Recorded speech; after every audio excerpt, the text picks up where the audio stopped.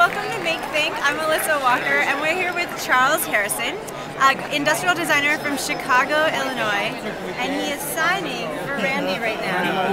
Let's get this. Let's get this close in here. You want your full name, Randy Hunt, or just Randy? Just Randy, I think. Okay. He's gonna put just Randy.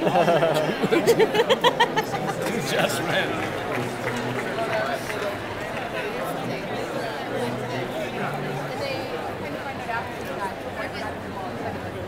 So the name of this book is A Life's Design.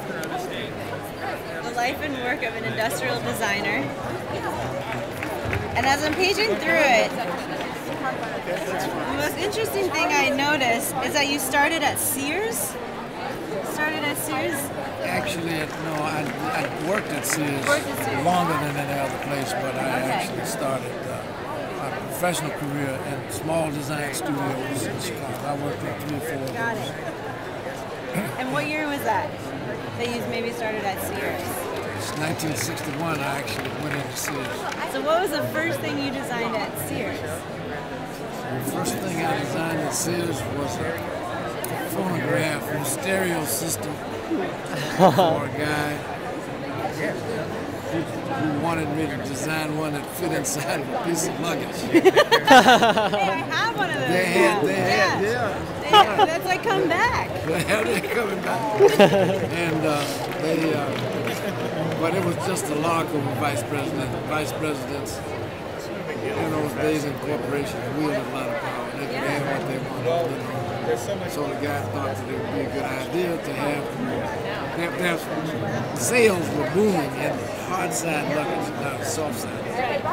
And he was looking for new opportunities to expand his market reach and thought to put a footrest in there to be compatible with people who travel. Brilliant. College.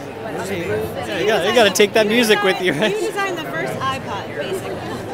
The iPod owes You everything know, I'd like to claim that, but I think that's good. if you'll endorse it, I'll. I will. Portable music, where people could pick the music that they could listen to, right? What are we going to do now about skipping over tapes? And, and, Yeah. we can't skip from that all the way. Oh, you think? Okay, so you think it's the Walkman, maybe? Yeah, the Walkman. Fit the I, Walkman. mean, I, yeah, I, sim- I inspired a Walkman. That's great. Over the course of your career, you were working in in industrial design in a time where it changed dramatically. And now in industrial design, though there's such a worry about sustainability, right? Everybody's worried about making the stuff that can't be, that goes off to landfills, can't be recycled. Yeah. Did that ever cross your mind?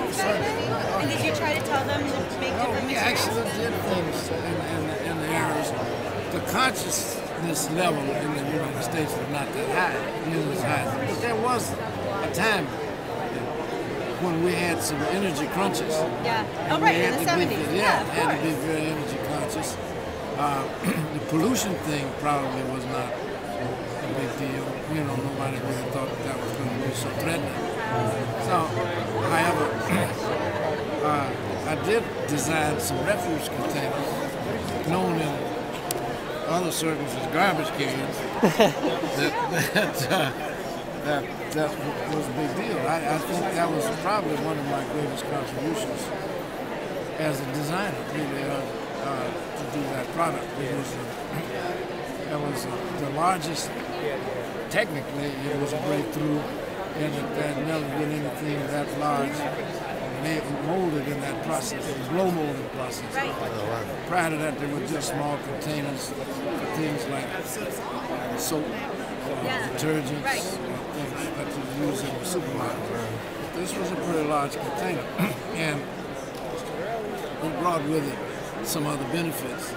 Uh, the material was polyethylene plastic, and we put it in a blow molding process, which gave it uh, a characteristic that allowed it to exist and, and live outside in, in uh, you know, in, uh, in the environment, the exterior environment.